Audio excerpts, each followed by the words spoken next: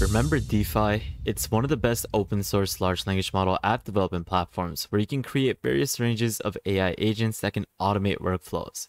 It's an ideal application that lets you quickly go from prototyping to production. Now, just last week, Dify released a large new update, which is the AI Workflow Update. This is something that is available both on cloud as well as on open source versions.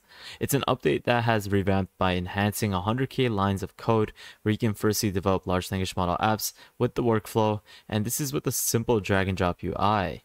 You have the ability to visually debug nodes, you have flexible DSL export and import features where you can share the workflows, you have code nodes where there's Python and JS nodes, which makes it easier to integrate programming languages into the application that you create. And then there is the introduction of the toolbox, which is allowing you to have a wide range of tools and plugins to enhance the quality of your apps that you create within Dify. Now, just take a look at this example where the Dify workflow is basically creating this React component generator. And this is something where it creates certain components of the UI. And this is just a video demonstration as to what you can create with the workflows on Dify. Here I am going to select um, React burger menu um, and the text I'm going to include is nature is beautiful. The colors I'd like to include uh, should be a vibrant color scheme to match. Now from here I can click the start chat button and since I've already inputted all my variables, I can easily just type in the words generate me my React component and see what it comes out with. Okay, so here's the code it's generated for me. I will now test it for you all uh, in React. All we have to do is make sure we're CD'd into the correct directory, and as it says at my bottom, burger menu, we are all good to go. So I can run npm start and see what it looks like. And here's the finished result. As you can see here, you have home, about, contact. It fits the pink and green gradient color style. It has the leaf icon that corresponds to nature. Really, it's got the animations as well. It's very, very well executed. This is just the start, and it's something that we're going to be exploring throughout today's video. So with that thought, guys, stay tuned and let's get straight into the video. Sorry for being repetitive, but this month we had insane partnerships with big companies giving out subscriptions to AI tools completely for free. These are tools that will streamline your business's growth and improve your efficiency. Just being a patron this past month, you were given access to six paid subscriptions completely for free. Not only do you access these subscriptions, but you gain the ability for consulting, networking, collaborating with the community, as well as with myself. You get access to daily AI news, resources, giveaways, and so much more. If you're interested, check out the Patreon link in the description below to gain access to these benefits. Hey, what is up guys? Welcome back to another YouTube video at the World of AI. In today's video, we're going to be taking a look at Dify's new upgrade, which is the AI workflow. This is a tool that's going to help you create step-by-step -step plans for tasks that involve artificial intelligence, where you can use this easy drag and drop system where you're going to be able to connect different parts together. It's like building a whole Lego set and this is where you're going to be building with these Lego blocks and this is where you can work with all these different entities and features. You have LM nodes. This is the special block that contains the large language model and it basically uses its abilities for the generation as well as for the backbone of that tool or that application that you're creating. You also have tools where these are going to be like extra gadgets and they basically add more functions to your overall application. You have a question classifier, it automatically sorts out different types of questions or even inputs. You have knowledge retrieval, and this is bringing in extra information from other sources for helping with the decision making process. You have different variations of code where you can add custom code in Python and Node.js, and you also have if and else blocks. And this is where it basically makes the decision in your plans, such as like if this happens, do that that and it's basically adding different criterias and filters Now, overall, this is definitely a great tool that's going to make it easier to make complicated plans involving AI, and it's going to break them down into simple steps by arranging them like puzzle pieces. And this is by doing it within this simple drag and drop UI, where you can create various ranges of software, applications, and so much more. So how do you get started? Well, it's super easy. What you want to do is click on the get started button. This is if you're going to be following along with me on the cloud version. You can also install this locally, which is possibly the ideal method for many of us. You can get started by going to the quick start section. You can start this up with Docker and it's super easy to do so. Make sure you just follow through with the command lines that they have basically stated and you're going to be able to install this. But one cool uh, one important thing that you want to keep in mind is that you need to have a CPU that is greater than two cores and you should have more than four gigabytes of RAM. This should be sufficient to have this operational on your local computer. But say if you do not have the requirements to fulfill that, then you can definitely have it hosted on the cloud, which is super simple. What you want to do is just simply click on the get started button. Once you have done that, create an account with GitHub or with Google. Once you have done that, we'll be then sent to the next dashboards page. Now, once you have signed in, you'll be then sent over to this dashboard. You can see that this is the studio dashboard. You also have a knowledge one and a toolset dashboard where you can integrate various other third-party apps and tools where you can basically implement all of them into the application that you're creating. You can also create your own custom tool, and this is where you can give it a name, you can give it a schema, and you can even implement available tools. You also have an authorization method as well as a privacy policy, and this is obviously for commercial use cases. So in this case, if you're going to be building a custom tool, you would just need to specify these certain criterias, and then you can proceed forward. But in the case that you're going to be utilizing these other integrations, you can easily get started by just simply clicking on something. For example, we can click on GitHub.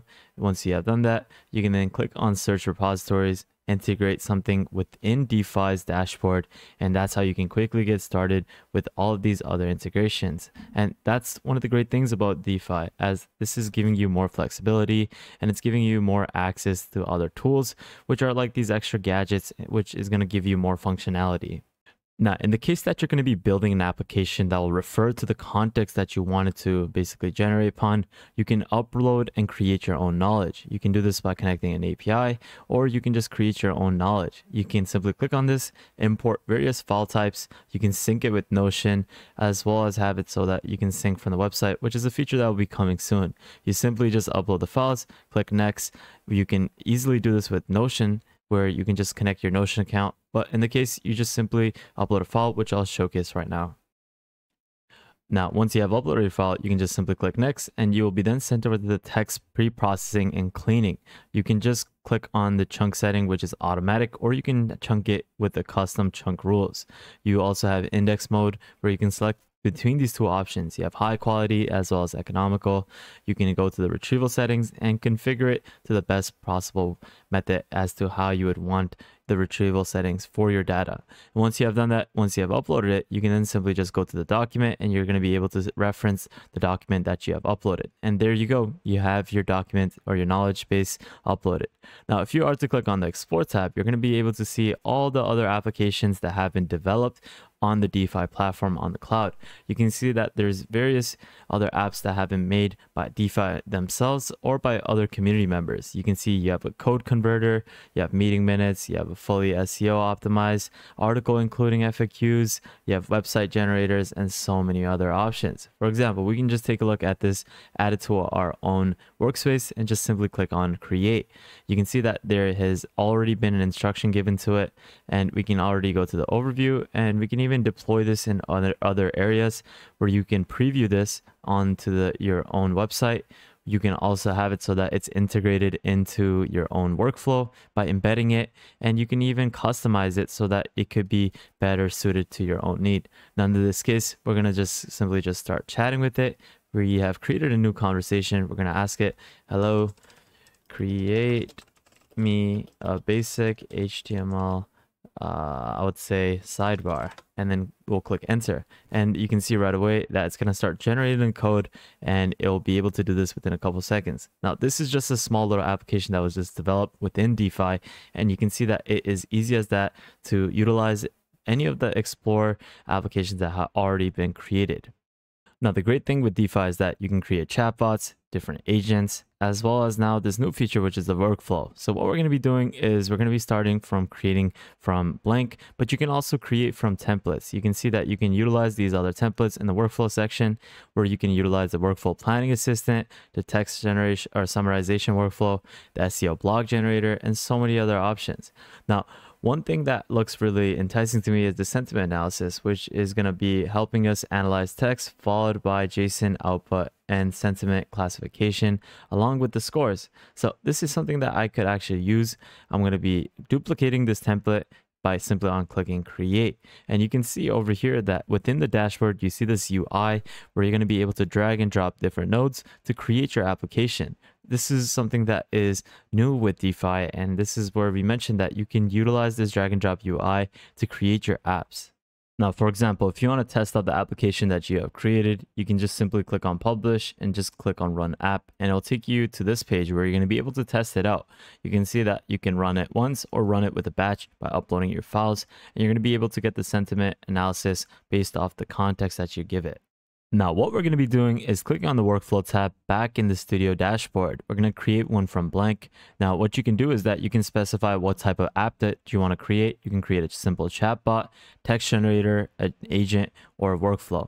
In this case, we're going to be working with a workflow where we can see that you can build an application that generates high quality text based on workflow orchestration with a high degree of customization. This is suitable for experienced users. So this is the new feature that we have, and you can see that we're going to be able to create it this application with this drag and drop system and it's going to be able to connect all these different parts together so that it's going to be able to build this intricate application that is potentially going to be a little bit better than previously how, as to how we're able to create applications.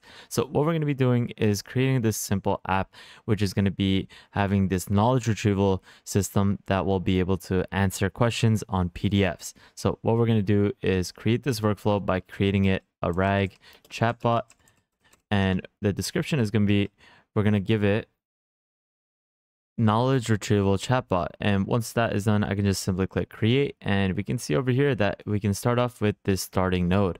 This is where we can add different orchestrations. You can add a question understanding or cl question classifier, which is one of the tools that is has been integrated with workflows where it automatically categorizes user inputs. And this is to route conversations and processes that are powered by the large language model.